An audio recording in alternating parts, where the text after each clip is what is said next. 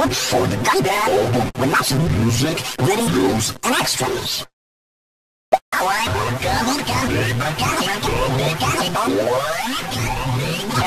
Yes, I